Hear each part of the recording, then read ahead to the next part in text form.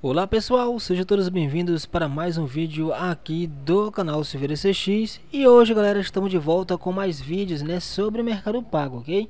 Bom galera, e hoje o assunto aqui é sobre o Mercado Crédito, né? O Mercado Crédito está cancelando aí limites de algumas pessoas que fazem movimentação, ok pessoal?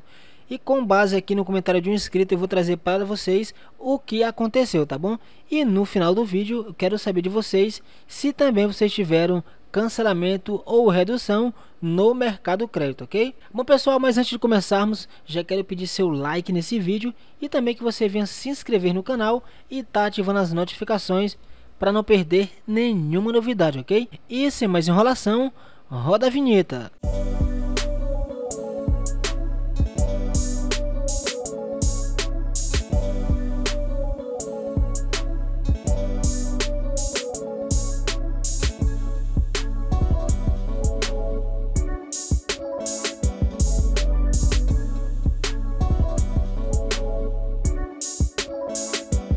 Bom galera, como eu falei no início, o Mercado Pago tem cancelado o limite de algumas pessoas, né? Não se sabe exatamente o motivo, né? Mas muitas pessoas que movimentam bastante a conta, que costumam utilizar bastante aí o limite do Mercado Crédito, infelizmente tiveram seus limites reduzidos e até mesmo cancelado seu Mercado Crédito, ok? E agora vamos trazer aqui o comentário do nosso amigo Márcio Silva. Olá Márcio, seja bem-vindo. Ele colocou o seguinte...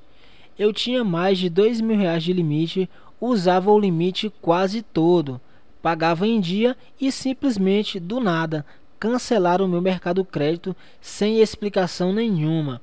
Olha isso aí, galera. 2 mil de movimentação mensal, né? Como ele disse. Utilizava o limite quase todo, né? E aí, de repente, quando ele for olhar, é, não tinha mais disponível a opção do mercado crédito, né, pessoal? Realmente o mercado pago está com é, algumas coisas aí diferenciadas, né? Eles começaram recentemente liberar e aumentar o limite do mercado crédito sem notificar o cliente, né, pessoal? Não sei se isso já aconteceu com vocês, mas ele também está fazendo dessa forma, né?